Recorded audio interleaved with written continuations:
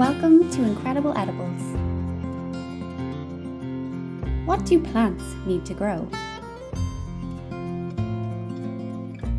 The first thing they need is compost. It holds all the rich nutrients that they need to grow.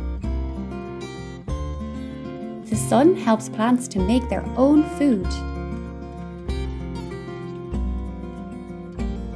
Water is important for all life. It helps us to stay healthy.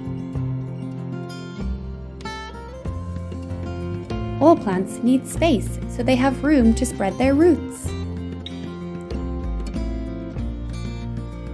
Plants breathe in carbon dioxide and give us out oxygen. Compost, sunlight, water, space, and air. These are all essential ingredients for growth.